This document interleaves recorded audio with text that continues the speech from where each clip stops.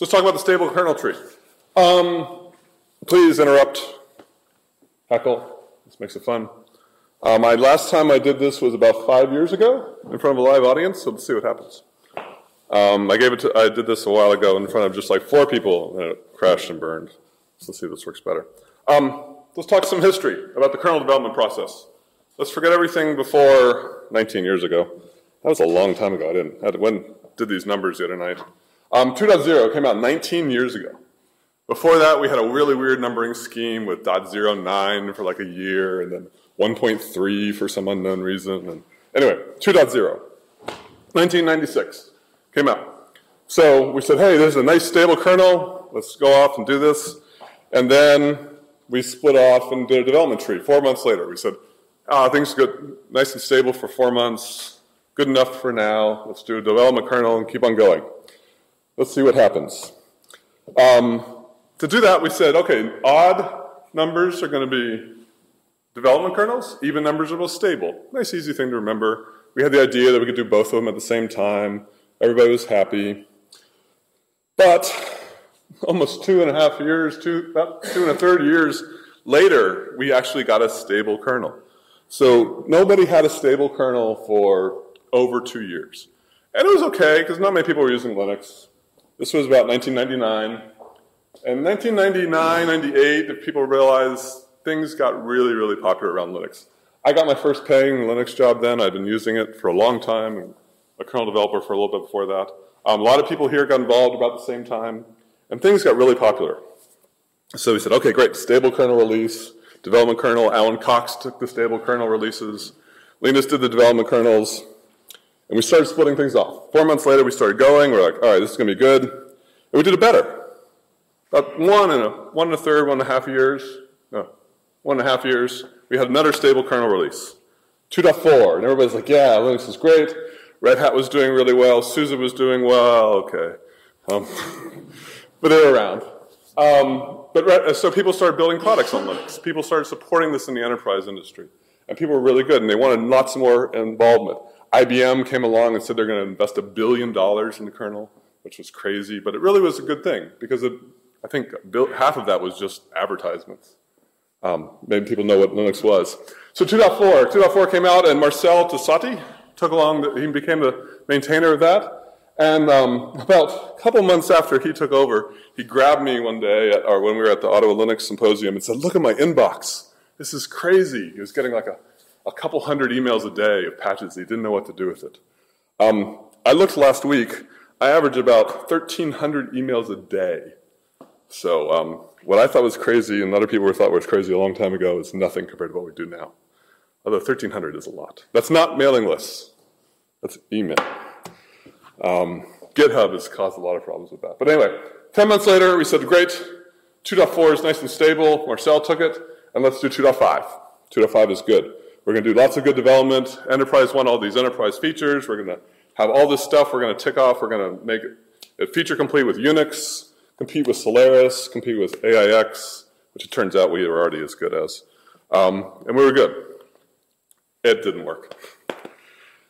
Almost three years it took us. And if anybody remembers these days, and they worked for a distro, who worked for a distro during these days? It was hell. It was really, really, really bad. We had to backport massive changes from the 2.5 kernel to 2.4. 2.5 was fun for me. I was just working on upstream development. Um, I broke the tree once a week doing the driver model. I swear. Me and Patrick Mochel, Linus just let us run around and do whatever we wanted, um, which was insane.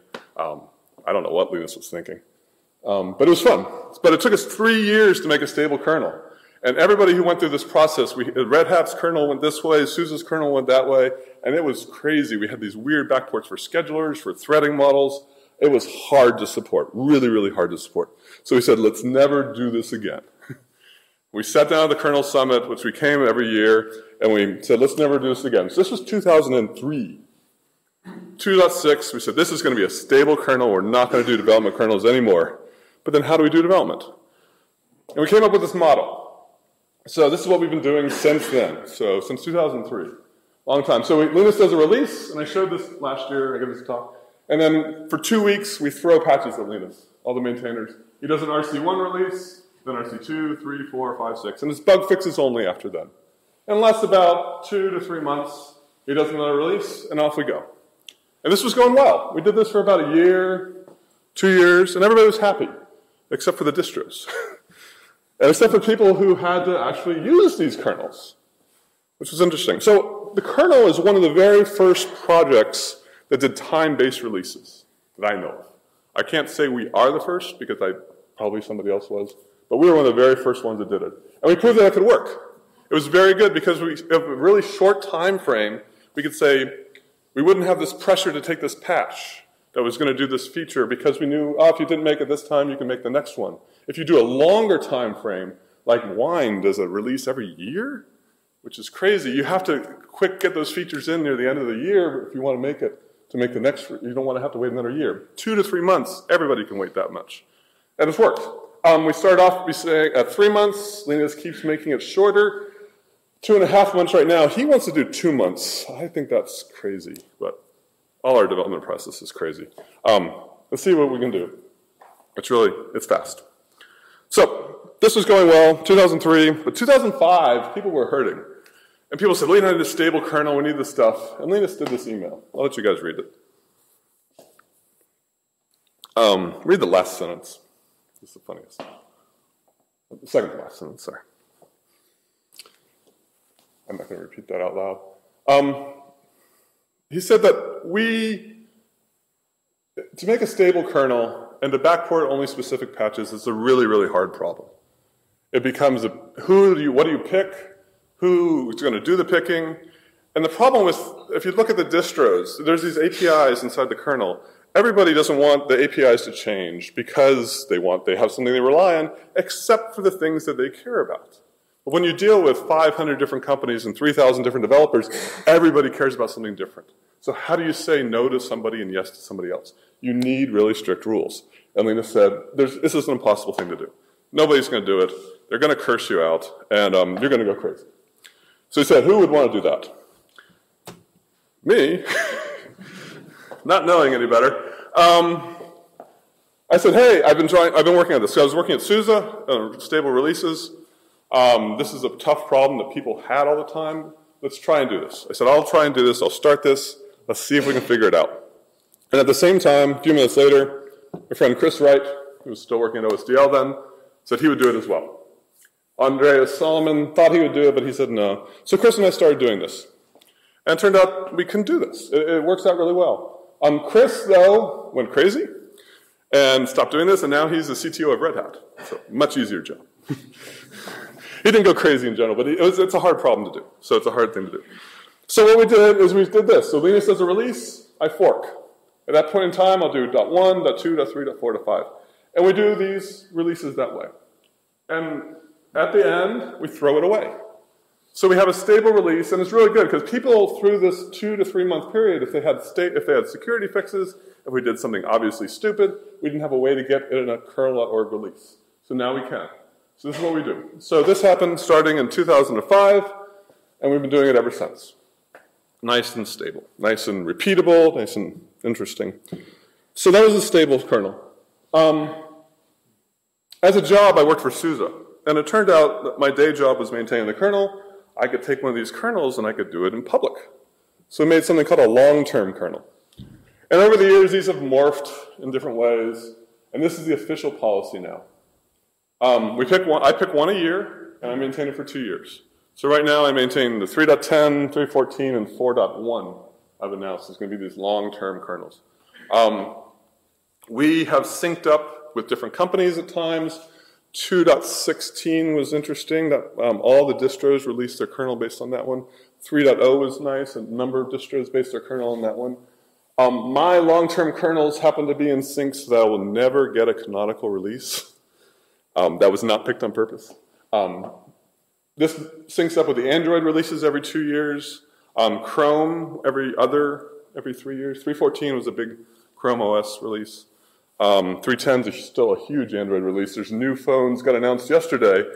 They're coming out on 3.10, which is crazy. But what's your criteria? Is it just what is a good? What is a good kernel? What is a good kernel to become? Um, I, uh, so one thing interesting is I can't announce them ahead of time. Because I've announced them ahead of time saying, hey, 3.10 is going to be the same one. This is the good kernel. Um, everybody throws crap into it. and it's really interesting to watch. Because um, even though us as kernel maintainers, we shouldn't only, we know we should accept things when they're right and when they're correct, but turns out not. We're, we're like, hey, is this going to make my life easier? Let's throw it all in there, and we'll figure it out later. Um, well, the point is, you throw the shit in when it's not working start. Yes. Then it's only bug fixes later. That's right. That's what people try. Um, some people actually get it right. So IBM threw in Power 8 support before the chip taped out, made it into a stable kernel release, and then did small bug fixes to get it working. IBM did it right. Um, other people didn't do it right, and it was a mess. I think the 3.0, what was the bad one? There was one really bad one. I think it's the one you're still maintaining. no? Okay. No, there was one bad one a number of years ago. So I don't take it ahead of time, but I go around and talk to companies and try and see it. So 4.1 is interesting. Um, um, I went around and talked to a lot of companies and said, everybody said, yeah, 4.1 might be interesting and that would be good. So publicly they said, that's a wonderful kernel. Privately, almost every single one of them said, nah, we're not going to use it. so it would be interesting to see what happens. Um, and then other companies say they will. Um, but I just randomly pick one. Um, right now I'm maintaining three um, because here's the time frame. Um, this is on kernel.org. If you kernel.org lists them all. And here's the people that maintain them. Uh, some people pick up them on their own. Uh, Sasha works for Oracle. He's doing that. Usually works for SUSE. He's doing that because it works for him. Li Zefan works for Huawei, and they had a bunch of products based on 3.4. So he just picked it up after me. Uh, Willy is the only other person to do one, more than one stable kernel release. Everybody else runs away. So you and me are the only crazy ones to do this. Um, and Ben is doing um, 3.2 because of Debian. That's Debian's kernel. He's doing a really good job there. Um, 3.16, I think, is being maintained by Canonical. Is it? Okay. So that's what the Debian, that's the next Debian kernel, right? 3.16? Uh, that's crazy. Anyway, Debian's tough. So Ben has to maintain 3.2 for five years. Um, it's interesting. After about two years, patches stop applying to kernels, and they start getting really, really hard. Um, that two-year number used to be true about a couple years ago. As kernel development keeps going faster and faster and faster, um, that number gets interesting. So 3.10 actually got really started getting really hard at the beginning of this year. Um, it's really tough right now. Um, it's getting harder and harder for things to apply, backporting them properly, testing them is hard, keeping hardware around that still runs on some of this old hardware is interesting too. I have one box that runs 310 at home, and I want to get rid of it. So.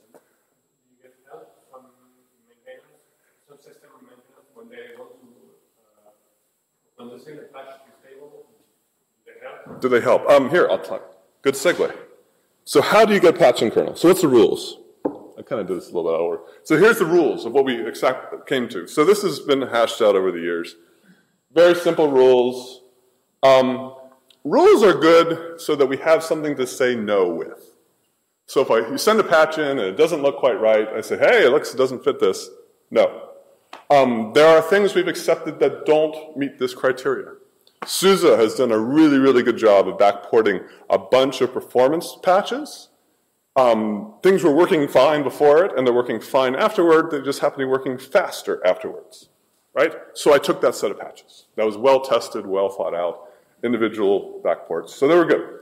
So that's so I did it. But mostly it's obvious bug fixes, things like that. And it must be in Linus's tree. Must be in Linus's tree is the most important thing. I don't want trees to diverge. I can't accept something in a stable tree that's not already in Linus's tree. Which means I also accept bugs in my tree. I will take a patch that I know is broken because Linus's tree is still broken and nobody's fixed it yet. um, sometimes it gets the maintainer to move faster. Sometimes it's better because then the fix happens in such a way that it applies in both places at the same time, in the same way. I want the patch to be identical. If you don't start collapsing patches, give it to me identical patch of what's in Linus's tree. Every time I take something that isn't in Linus's tree I think about 50% of the times we get burned. It's that bad.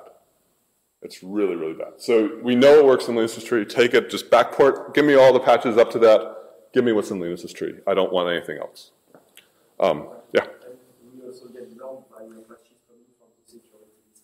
And we get burned by the patches coming from security lists. Yes, we get burned. If we get security patches getting accepted into Linus's tree, and then I instantly release them in the stable tree, they haven't been tested yet. I like now testing them for a week in Linus's tree. Um, so yeah, I almost got burnt this week.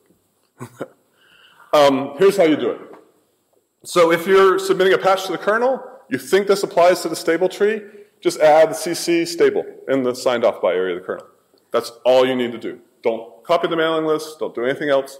I have scripts that when it hits Linus's tree, I pick up the patch and it dumps into my mailbox, and I'll show you how those work in a minute. Um, or if it's already been in Linus's tree and you forgot to pick that tag, just send the git ID to the mailing list. Don't and say which trees you want it applied to. Don't send it to just to me because there's more than one person. If you send it just to me, I'll lose it in my inbox. Send it to the stable mailing list. Pardon me? You'll do all the backporting? So I'll do all the backporting. Um, no, I won't do all the backporting. Um, so when I get a patch and it doesn't apply to a backported an older tree, um, and you say you think it should apply there, because I'll show you how you can mark patches to say how far back you should go. Um, my scripts will send out you an email saying this didn't apply. If you think it still should apply, send me a backport. Then, I ignore it. and that's just okay? That's okay because obviously you as a maintainer didn't think it was worthy enough to be applied. I can only do so much. Sometimes I will backport stuff. If I know it, um, if it's a security, if I know it's a security fix, or if it's something that's, hey, this is obviously easy because the file moved from this directory to this directory, I can just edit the text file and go. Uh, file movements, those are easy for me to do. Changing APIs, changing offsets, and stuff like that. And, and you, you care about security fixes for you, it's not just a bug. A bug is a bug. But sometimes I know a bug is more of a bug. um, sometimes I don't. I, I would say because sometimes I explain this to people, but uh, the difference between a regular bug and a security bug is that the security bug can be triggered on purpose. Yeah, tr- the security bug. It can make it more annoying than a regular bug which triggers uh, one one. Right. We had a TTY bug fix that we fixed in the security, or that we fixed, um, and we thought it was just a normal bug fix. We got backported all the stable trees. Turns out, um, two years later, somebody figured out how they could get root on your box from it. Um, there was a perfect example of a normal quote bug fix that distros didn't copy into their trees because they thought, hey, it doesn't matter that much. Boom, it was an issue. So a bug is a bug, but it can turn into worse. Um, so yeah, so I look at them and I see. So Right? Regarding the back, the backport that you have to do uh, right now for 310, you are doing the network backports. am I doing what? Sorry. The, the network uh, patches. uh, Network patches. Because uh, uh, they send them to you, uh, but uh, for 314. Uh, Yes. So networking is done different. Um, networking, um, David Miller batches them up for me and sends them to me. Um, he's the only maintainer that wants to do them on his own, but he doesn't backport it to all of them. So I take those, last, the newest ones he's given to me is 314, and I backport them where applicable. And sometimes I get them wrong. um, so that's, networking is a little different. If you're sending network patches, don't add the CC. David will do it for you in his own tree, because he actually tests them for me. If you're a maintainer and you care, um, want to do this, please let me know and I'll work with you. Um, otherwise, just mark them. And um, maintainers have gotten better. Over 10 years, maintainers are doing much better. Thank you, Jens. Yeah, thank you. You're finally getting better. Um, if it's any consolation, SCSI's the worst. SCSI, That's a very. That is a low bar. um, I, so subsystem maintainers, when you're applying patches and you say, hey, this is obvious bug fix, new device ID, add the tag and go. That's all you need to do. Yeah. So are you show the table of different stable versions and the long-term releases? Mhm. Uh, if, if you send uh, a, a patch to this uh, stable kernel, then you have to apply to all of them. Well, it doesn't. So um, sometimes, so another tag you can put in the kernel is um, in the signed off by you can say fixes, and you can say fixes and you give it a git commit ID, and I'll show you how my tools takes that tag and determines how far back to go. So sometimes you want to know because if you know this fixes a specific patch that went previously, it'll do that. Um, otherwise, you can say cc um, stable, and then at the end of that, you can put a, a tag, and you can say this goes back to 3.0. If you know ahead of time, if you don't know ahead of time, just I'll, we'll try and work it out. Um, but otherwise, look. However, there is a rule that we try to respect. Uh, sometimes we get uh, patches sent directly uh, to the maintainers for all kernels.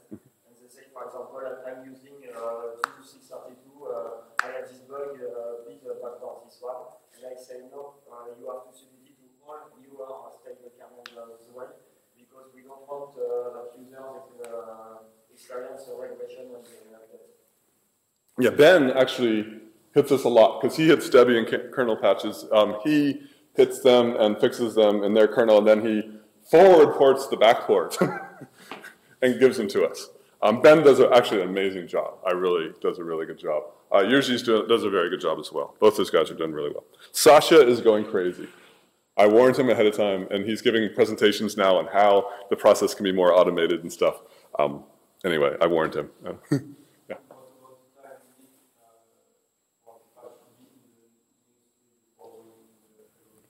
Um, so the timing of how long it's in Linus's tree before it goes in a stable tree is basically up to my development cycle. cycle. Um, ideally, now we have the rules. I want to see it in Linus's public RC release before I'll take it. Give it a week or two to bake. Um, realistically, based on my backlog, uh, it's at least one or two RCs before it gets into a stable kernel. Um, sometimes you can email me out of band to the stable list, say, hey, this really needs to go now. Um, the MD and the DM guys um, want things to be delayed. They want stuff to say, I want this in a real Linux, a stable release, and I, I want to wait three months before it goes into backported. Totally up to the maintainer. So yeah, so like the MD guys are now giving me tags saying wait three weeks, which I can work with. Um, I've, I've been telling them just don't even tag them and then just email me the git IDs when you feel it's good. That's easier for me to work with the maintainer. It's up to the maintainer. It's, it's your judgment call on how things go, and the developer who does it. Um, what if a bug is only uh, applicable to a single release? Then it's the newest one only. It, bugs should never be applicable to older ones because it went into Linus history. Right? So sometimes bugs are only in 310 and not in 312, but usually it's because we fixed something between there. So find that fix and backward to 310. Sometimes, yeah, people will do that. So they'll say, this git commit ID, please, it went into 312, went into 311, backward to 310. So that happens a lot. The 3.4 guys, um, Huawei does a really, really good job of digging up stuff because they're beating on their stuff. So they find a lot of patches that were fixed like in 3.8, and so they backward on that. Um, and the stable kernel rules.txt in the documentation tree goes into detail and description on all this stuff, much more. I'm going to do it Then I summarized. Uh, read that file. It's pretty easy. Um, we have a review cycle. So once I do, I batch them all up. We send them all out to the world, and I give you, I used to give you 48 hours, maybe 72, before things go. And then I say, um, I do a release. So let's do that. Let's see if I can do this. Um, how am I going to do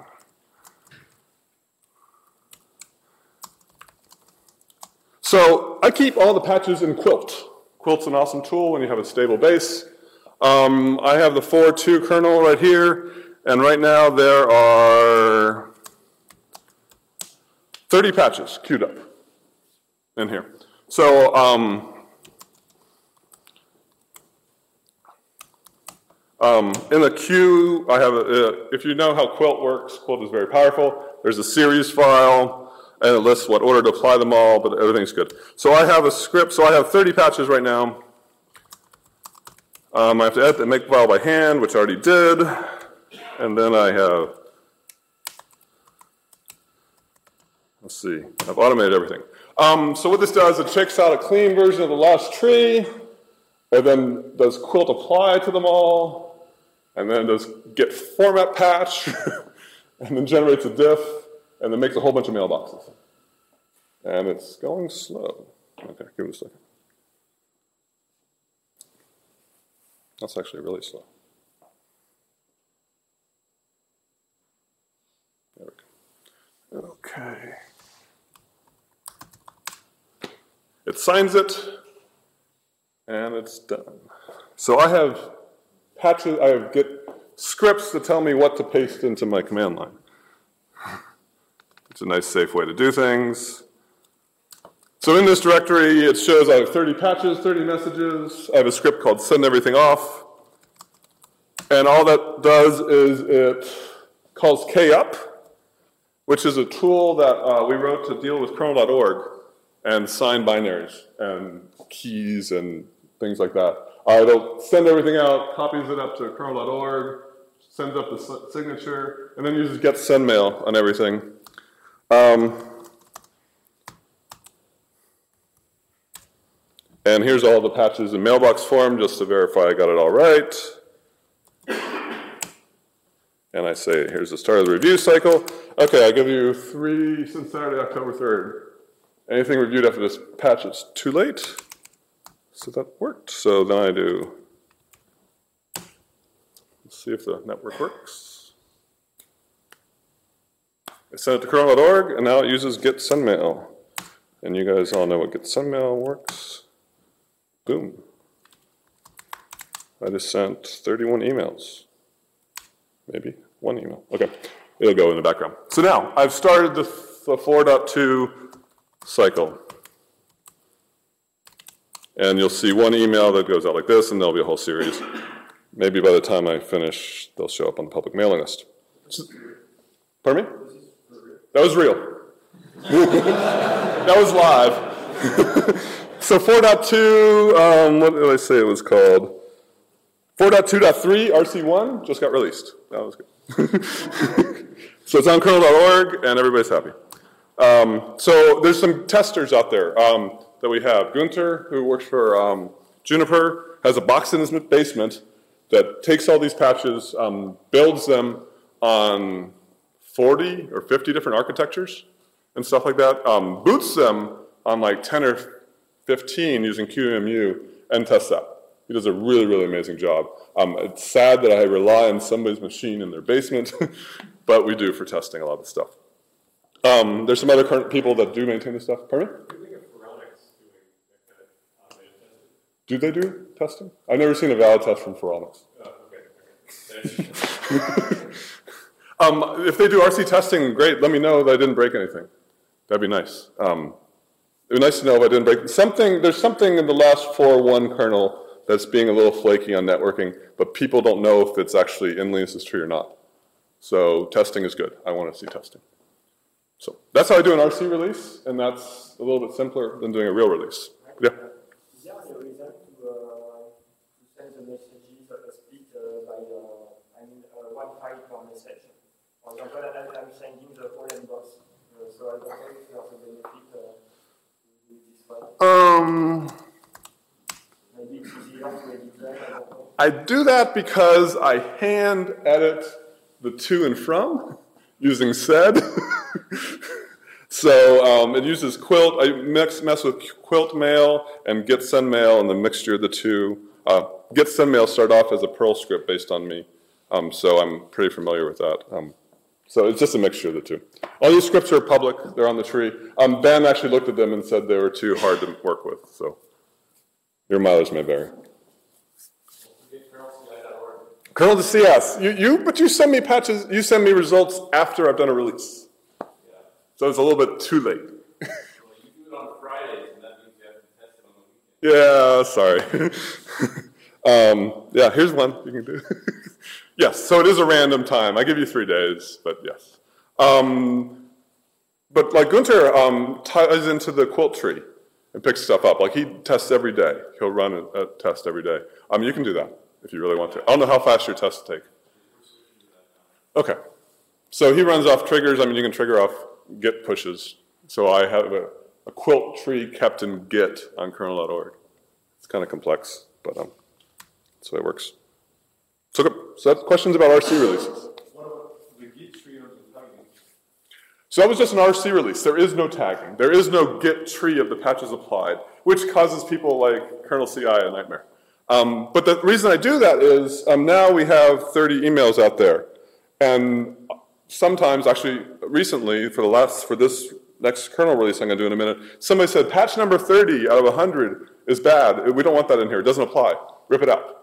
And you can't do that with Git. If you have a whole bunch of patches already applied, I, I could rebase but you never want to rebase a public tree. So that's the problem with Quilt. I can just rip one out in the middle and then do that way. So that's that's why I never recommend using Git if you're ever using a whole series of patches. Git is really really good. It's what the distros use. SUSE, we were keeping 5,000 patches against the kernel piece of cake using Quilt. Um, 5,000 patches. Yeah. Now that takes your quilt series and pushes it to my history. Yes, you can do that. Just throw away branches. and that's the way Guenter does it as well. Yeah.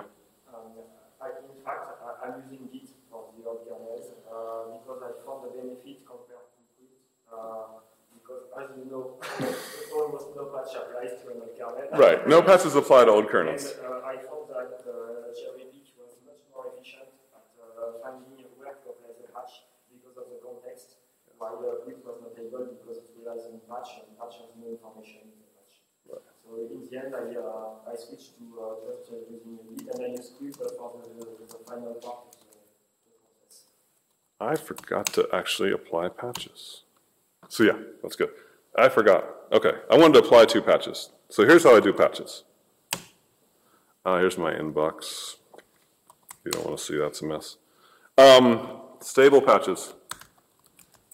So, um, like I said, if a, a patch hits Linus's tree with a stable tag, I get to see them. Um, I have a Git hook that then just sends me an email directly, and it sends in a common format. You can subscribe to the Git send, what's it, Git commits, Git commits mailing list as well. All patches come through that. Um, I really recommend that if you want to see all the patches that come through here. So here's a patch by Lewis. Um, and he, in the signed off by, see here, down here says CC stable, also says fixes. And so my scripts in Mutt can take that, and um, what key do I have there? It digs up the kernel tree and says, hey, that goes back to 315, RC1. That's when that patch showed up. So I said, okay, I know how to do that. So I will apply this patch. So I apply patches. One key pulls up in an email. I strip off a tag. I look at the patch. Yeah, it looks good. I save it. I looked at this ahead of time. I looked at it. Ahead. Okay, it applied to the 4.2 kernel. Great. Applied to the 4.1 kernel with some offsets. Yeah, good enough. Um, I use Quilt and some patches, uh, some tools around Quilt that um, Chris Mason from Facebook wrote. And I refresh that and go, and then it does not apply to the 4 dot, or to the 3.14 kernel, which is kind of obvious because it didn't want to, and it doesn't apply to 3.10. And now I apply to patch. And let's do another one. So I'll show you two. This one um, from Kyle adds a new, it fixes the bug. Um, it doesn't, see, it's kind of small. It doesn't have a fixes by. So let's see where this applies to. Um, oh, 4.2, 4.1, not the 3.14. A whole bunch of hunks are fail. So I, I can use Quilt. I can force push it. I can edit it by hand and do fun things like that. I know it doesn't apply here. Oops. Delete. I can just stop it. So let's. So in my quilt tree, I have four, two new patches added, two new patches for 4.1, and two new patches for 4.2. Um, they apply. I would test build it. I know these work. You don't want to see my laptop try and build kernels. And then I run a script. I have, I have scripts I call do it all. but it really doesn't do it all because I have to do, I have to pick a kernel number. So I wrote another script that just wraps around that called do everything. do it really, and it goes through, it takes the patches, it commits them to the tree, it emails you who it is, and then it pushes it to the public um, location, and it pushes it to a private repo I have. Um, and it sends out a bunch of emails. Kernel.org. Pardon me? They never error. um, the only time things error out is when I can't like push to public the public repos or something. But I have, actually now I have wrappers that make sure I'm online before it tries to push. Um, but kernel.org is interesting, and I just refreshed this. So kernel.org, there's two-factor authentication.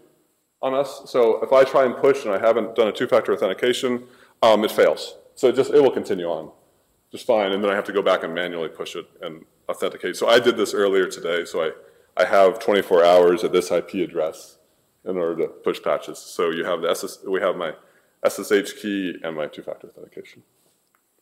So I meant to do that before I sent that thing off. So now 4.2 actually has two more patches added, but we'll let that slide. Um, so we'll also release 4.1.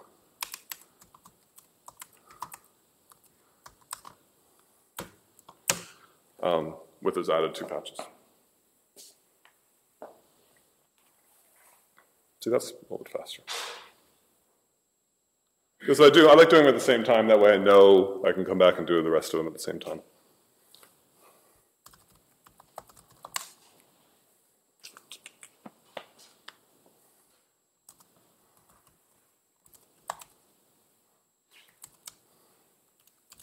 This one's going to have 29 patches. Send it off.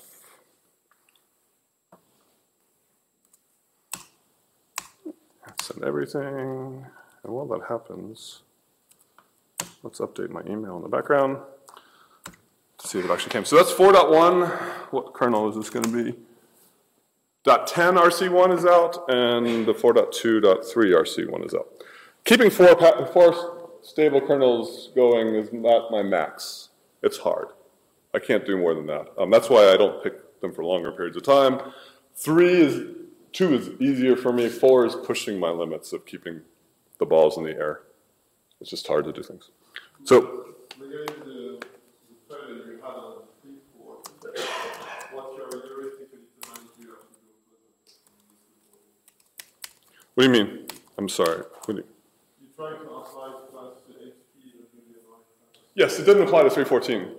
So what's your heuristic to manage you have to go further? If I had to apply that, if it was supposed to go there, Yeah. I would. Um, I have a script that says um, it's called bad stable. um, that I provide the git commit ID, the kernel version of the git commit ID, and it emails the people all about it and says this doesn't apply. That's the thing.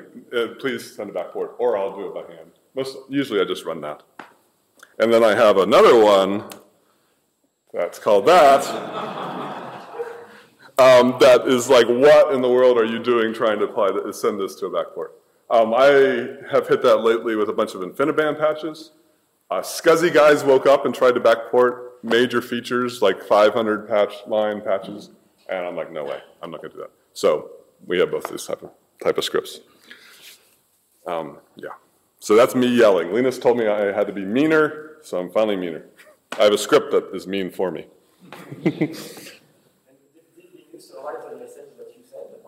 I wrote the message I sent. I yeah, I wrote it. So it isn't as mean as it probably should be. But, okay. Um, yeah.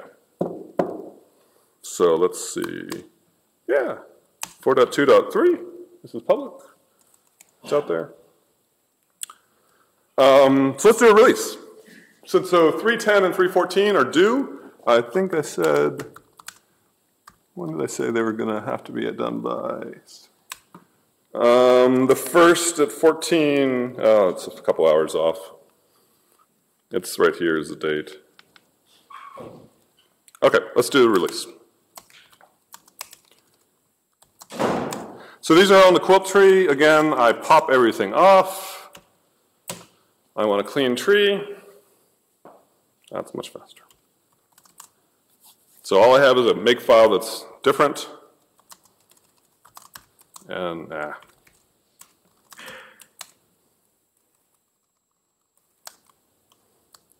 Um, give me a name. We name kernels. Kernel recipes. Kernel recipes. Ah, I can't spell, can I? There we go. Kernel recipes. All right. How about a date? I'll give it. Nice. All right. The kernel gets a name. Um,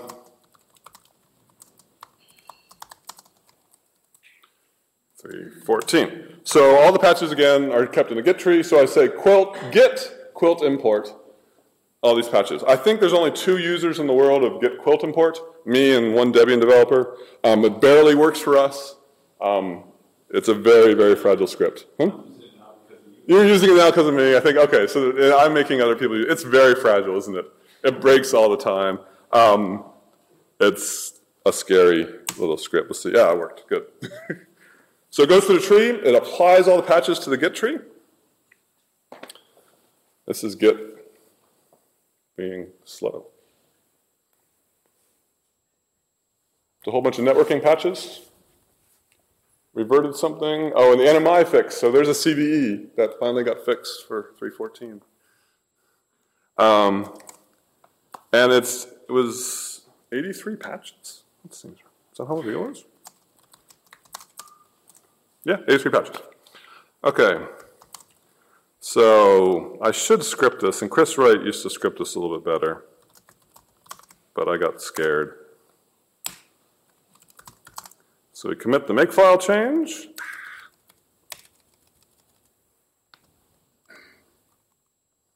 And we tag it. I still do this part by hand. I don't, I tag it, I have a script. I tag it, do you really want to tag this? Yes, it's tagged. Great. Um, do release. I, I, my scripts are named dumb things. I want to release this. So for kernel.org, um, I don't want to upload a whole release. It's huge, right? The kernel is, I don't know, compressed file is big. Um, let's see, how big is it? A tar file is 500 meg. I don't want to have to upload that across a random web link because um, I'm on ferries. I, uh, interconnect, internet's not so good. So what we have is on kernel.org, we want to see a git tag. So we sign a release, and kernel.org, if I say do a release of this git tag, and it matches the SHA-1 of everything, and it will do that. So it checks it out on kernel.org, compares the signature, and then builds the tarball based on that. We sign the tarball, we don't sign the compressed tarball. We sign tarballs because we've changed our compression formats over the years. I think we dropped BZ2, maybe, we added a new one. Um, so that's a good thing. If we sign a tarball, that's future proof. As long as the tar format is deterministic. And it wasn't always. We found some bugs in Git um, that it was not deterministic for some really long path names. Um, there's some incompatibility between the BSD tar and the GNU tar, and now the Git tar. Hopefully we've worked all these out, and we will always make a deterministic tarball that you can do for different versions of Git at different points in time, and you get the same thing. Um, so I need to push it to, to kernel.org. I'm on the 314 branch. See, this is still done by hand. So when people like Lily will send me a pull request, they say pull and do a release. So what I do is I suck it into my tree right here. I pull in the tag, I verify it actually matches up, I GPG check it, and then I will push it to kernel.org.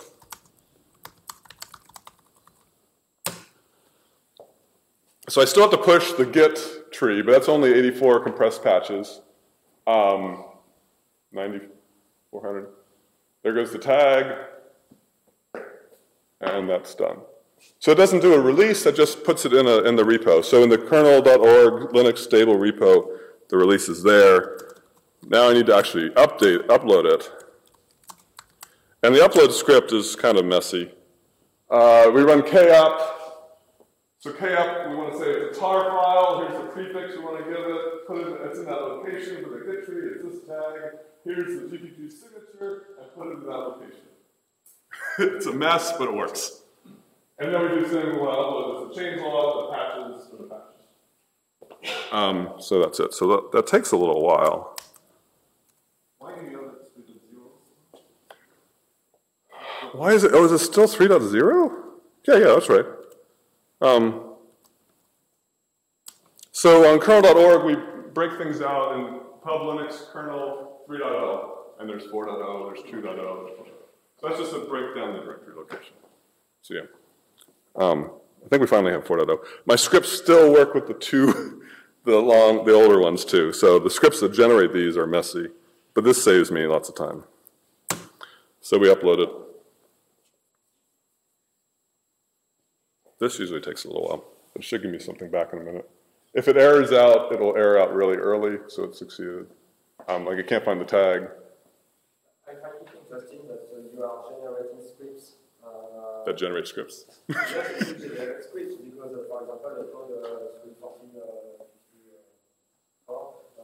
Was generated.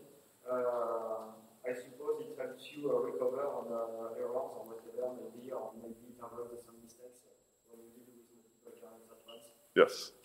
So yeah, scripts that create scripts. It used to be scripts that created just print them out as print as echoes and I'd cut and paste, but now they actually export to another script.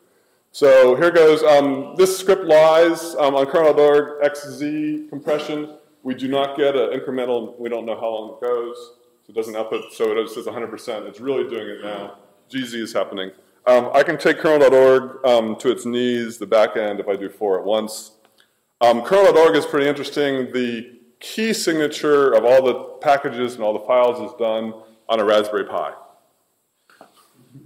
because it's on a write only, or it's on a read only uh, media. It takes the key off it, does the signature, and copies it somewhere else. Um, there's a really good presentation from Konstantin, the kernel.org sysadmin, that explains how everything works. It's a very robust system and it works really nicely, but a Raspberry Pi is kind of a little tiny bottleneck. Um, very few people actually hit this part of kernel.org's backend, so it's, it takes a while. This is very different from what kernel.org, yes. Um, this whole way we upload, before I would just copy files directly into an FTP location and be done with it, because we had 400 users that could write anywhere. um, now it's very few people can upload. Uh, for the stable kernel people, I think it's just me. I can upload. So other people, Willy will send, go do this release. I run my scripts and I do the release. In fact, in the past it was even scary because uh, I did some uh, huge mistakes. Uh, we, we would log into the machine, uh, do our stuff locally. Uh, I, I, uh, I completed this one as a to the floor hit repo. Yes. I fixed it quickly by hand by uh, putting from another server.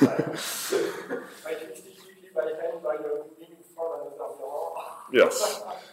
Um, yeah, it's kind of, yeah. Things are much better now that kernel.org is, is interesting.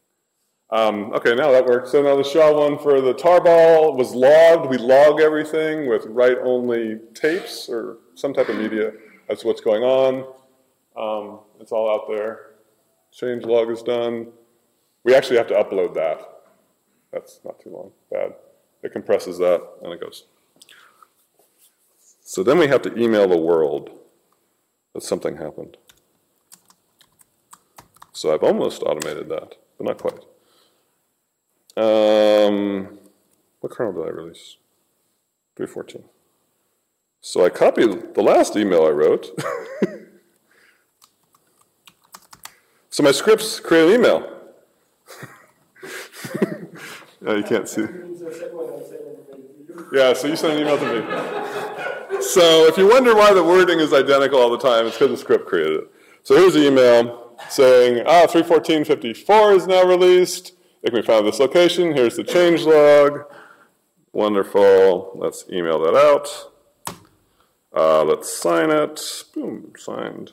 And then we, oops, we will, oops, and do that right. I will send the patch. And that's it. So now, if you guys are subscribed to the kernel.org announce mailing list, um, it'll show up in about five minutes. The back end, the kernel is released, it has to sync it out to the front end and split everything out. Um, I got a lot of emails right now because that's the release I was just, the RC releases I was doing.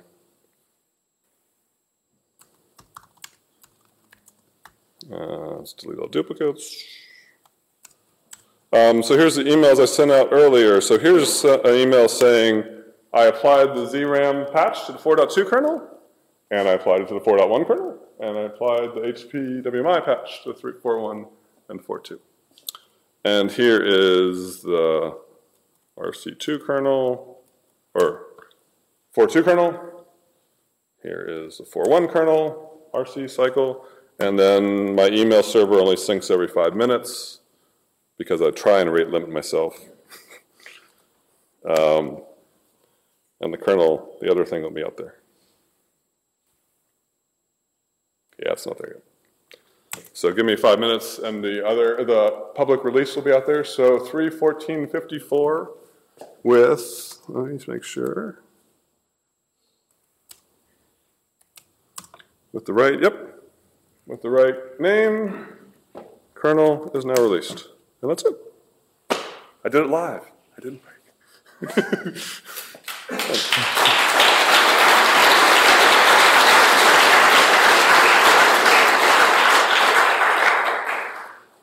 So questions on how I could automate this better? yeah.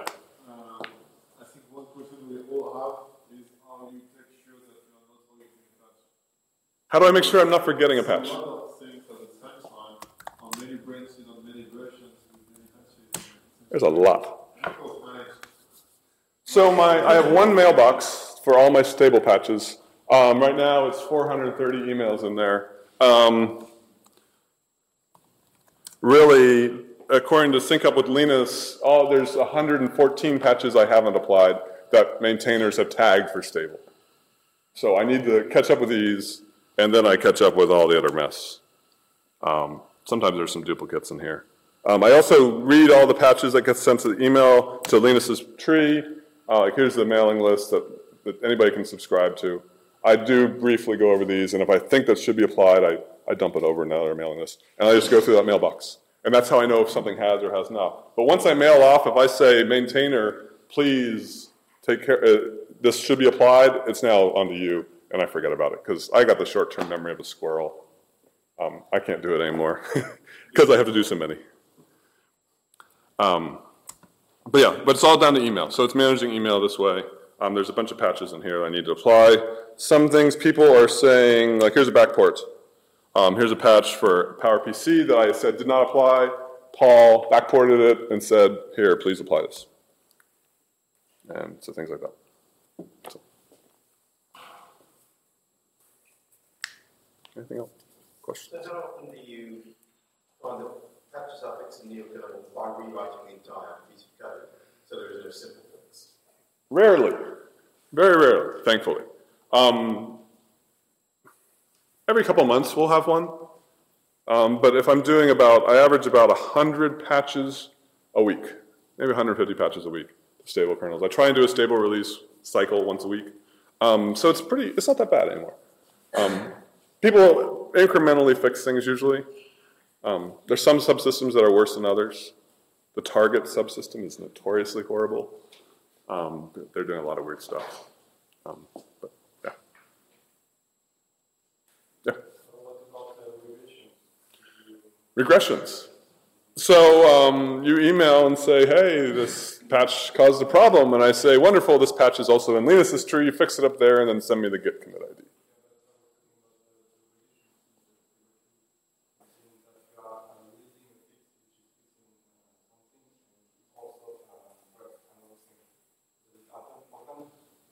No, because almost always if I apply something that breaks something, it's also broken in Linus's tree. Either I didn't take another patch that Linus has, and I'll backport that one, but because I try and stay identical, the fact that if I break something that isn't also broken upstream or already fixed upstream and just another patch is really, really rare. And it turns out enforcing that that has to be in both places has saved us so many times. In the beginning, when we were taking patches, like, oh, I rewrote this or I collapsed these three, then we start having problems. And that's why we have uh, strict enforcement now. Um, it's actually pretty rare. I mean, distros, so Facebook told me publicly I could say this, the 3.0, no, what are they running? 3.10. Um, every single stable release, they ran through their machines and they're running on production, no regressions. And what am I at? I'm at, what is 310 at now? It's a big. From what I see by pulling from your trees, uh, from your normal, uh, it might happen uh, maybe two or three times a at most that a patch is reverted in a later version. Yeah. Because uh, in fact, uh, as you know, I I scan uh, 10 versions uh, at once. Yes. And uh, it's very, very rare. So um, there it is. So 31089. So 80, well, so they told me a couple months ago. So say 70, 75 releases of stable releases with no regressions in an enterprise type system in a huge, huge environment. So I think we're doing something right. It's working well. Do you make a, um, a check that the patches are compliant? Because it's not because it's applied. Yes, I, I do build them. so, so I didn't. I knew these applied, and I test built them last night. I didn't want you guys to have to sit through my laptop trying to build stuff. Um, but again, other people also apply them and build them on all the other stuff. So like kernel CI, and then Guenter does it and builds and boots a lot of different configurations, a lot of different architectures. We have, over the years, fixed up almost all the architectures to actually build. There's uh, some architectures that don't build because people don't care about them. And I think we're up to a hundred and some different architectures and sub-architectures that build with no regret, no failures now. Because I remember some talks I had with Willy telling me that how the, the hardest part of the work was to order the patches and make sure they are compiling on many houses. Yes. There is no decrease in that. Yeah. Yeah, well, there, there is a difference between uh, the kernels that and the other ones because uh, as you see, every time there is just a reject when you apply the patch, it runs the patch. So there is al- almost no risk that it does not do. But uh, in my case, the, the, the thing I explained to you, uh, you're talking about, is because I have to manually edit the patch to, uh, to apply it. And uh, I don't know what systems. I'm doing some blind stuff. So uh, sometimes I write things. And that's why I need to build, and I don't build architecture. Another hard thing is I see the patches when they hit Linus's tree, and I got an email per patch, but it doesn't tell me what order they were applied in. so um, I have to guess. Um, I do guess by, I will look at the patches and say, okay, September 7th, September 11th, September 22nd, September 11th, and I look at the date and the time, and I try and apply them in the right order. Um, that's a pain. Um, Andrew Morton will copy me when he sends stuff to Linus. So here's three patches that I need that he apply, sent to Linus um, that I need to. So there, I have a hint as to what order they were applied in, and I use that hint so now. Sometimes these are three independent patches. It's not a big deal with that. Um, I do also look at patches that are hard. If you touch like mm.h or schedule.h, I try and do that at the end of my development cycle, so I don't rebuild the world. It's hard. But, um. So, there's not much magic. It's just applying patches, emailing people out, and scripts that generate scripts that I run. and they're horrible scripts. I'm not a good bash programmer. Yeah. Uh, just interested in the, the human element of this, how you split up your time doing it, how much focus you need, if you can do it in five minute segments, little by little, or if you have to sit down and plan to do three hours. Um, so I file things away. So I file things like all these patches go to one mailbox, and then I'll sit down and say, "Great, I'm going to spend three hours right now and do stable kernels." And I go through them, and apply them. If it's easy, like those two, boom, applied, boom, applied, wonderful, builds, everybody's happy. Those are simple. Um, every couple weeks, I'll get a series of patches that are hard. They apply, I know I need to apply them, and they break something, or something isn't fitting in right, or they manually need to do that. And that's what breaks my workflow, and I got to sit down and do some real work. and it's hard. Otherwise, it's just manually going through them and looking at them and applying them. And I can do that about once a week, three hours, four hours for a normal thing. Um, it's not that bad, so I divide it up. Um, otherwise, sometimes, like if I'm on planes, I'll take, because this is really easy to do offline, I can sync everything up and push it all out. People see that I've landed, and all of a sudden, boom, a whole bunch of email comes out. With Wi-Fi and airplanes now, it's kind of bad because they trickle out. I need to not get the Wi-Fi on the email on the airplane. But yeah, about once a week, three or four hours. Um, companies ask me how to do this because um, they want to do it, because uh, they want to maintain kernels, because they maintain stuff inside. And I say the resources needed is about one senior person full time to devote to it, because I'm just looking and going through things that other people tag and whatnot. Now, I'm not caring about what my particular use case is. I'm trying to look at general. If you look at specific stuff, you need to care whether you do want to backport a patch or do not. you have to apply a little more care. You might dig through change logs for some things to see if they fixed something that you shouldn't, that they didn't mark for stable and do that. So one senior engineer full-time is good enough to maintain a kernel. Uh, finding that senior engineer is kind of hard. Um, companies try and put junior people on them, and they burn out and fail every single time. Um, I've seen it happen many times. Um, one other little thing, and I'm going to talk a little bit about it um, with Willy this week over alcohol. we need we have too many long-term stable kernels. Um, what are we averaging now? That's a lot of stable kernels. Um, this past year we had 318. The Canonical guys sneak in there and do two a year as well. It confuses the heck out of companies. They don't know what to do. Um, you're talking about this tomorrow. Um, I, since nobody else who ever has done a stable kernel wants to do another one again, I'm going to stop accepting other people to do stable kernels and just for long-term kernels and just do one a year. And that makes things better. It might not line up with your company's work as easy.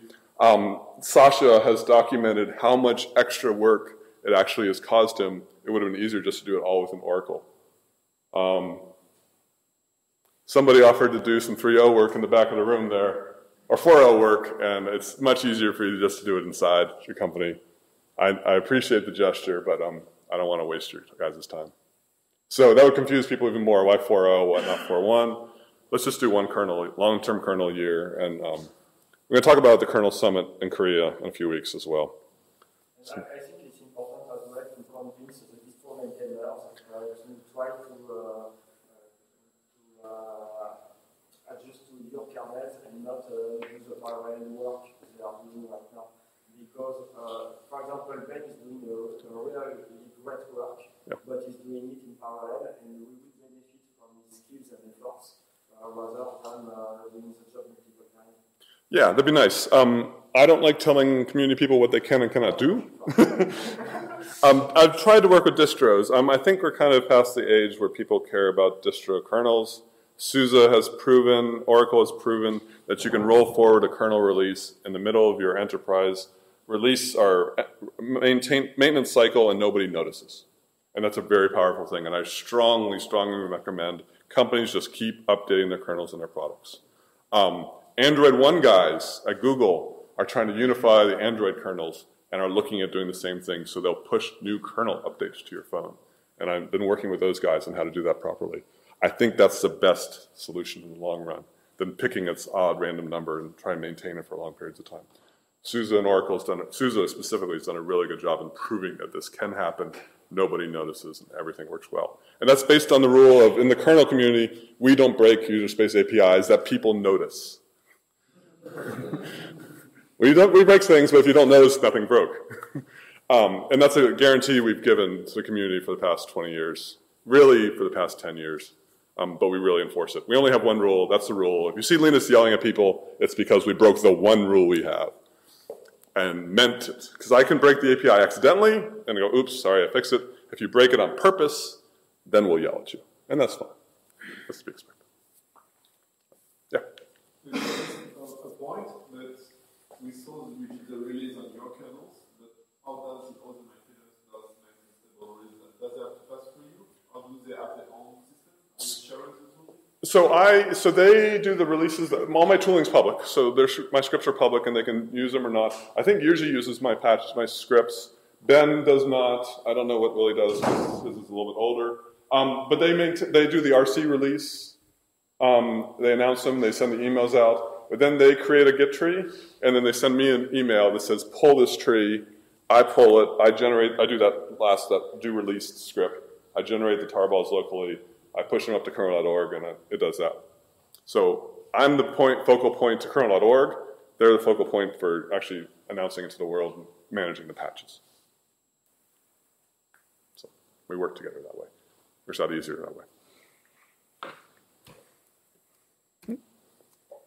And I think, yep, the kernel got released and kernel.org announcement said it did. So it happened. It worked. I didn't break it.